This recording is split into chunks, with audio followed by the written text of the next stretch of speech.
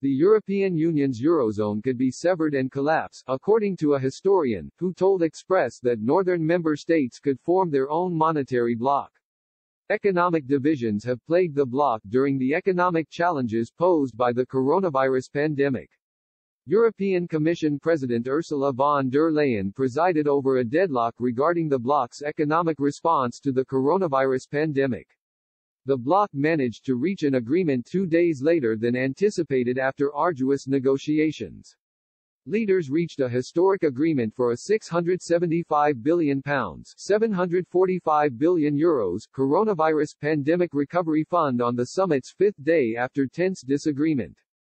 Dutch Prime Minister Mark Rutte had provided the strongest opposition to the plans on the table, which were said to have argued for a cap of 316 billion pounds 343 billion euros worth of grants, preferring loans on strict conditions.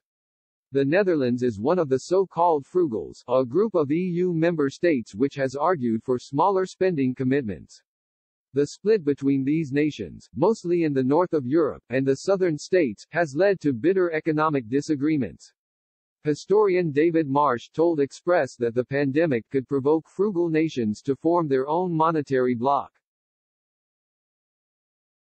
He said, sometimes crises lead to people coming together more, there's the old adage that Europe is forged in crises. But of course you can have a crisis too far, and some crises end in the whole thing, in this case monetary union, blowing up. I think both of these possibilities are out there, and it's difficult to tell which one is more likely.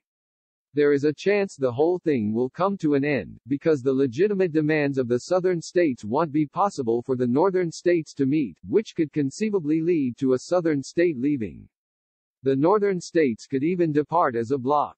However, Mr. Marsh, author of the euro, The Politics of the New Global Currency, believes it is more likely the bloc could form a transfer union which would see wealthier nations support the less economically stable neighbors. However, the way in which this measure is implemented could have huge repercussions for the monetary union, he warned.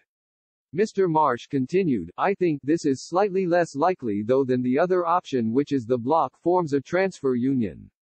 Of the two extreme options, a euro breakup or a transfer union, both of those become more likely. The transfer union would be an expression of solidarity between the North and the South. The big question however would be whether this transfer union comes in in a fully legitimate way, authorized by Parliament, and by treaty changes which would need referendums in some countries, or through the back door.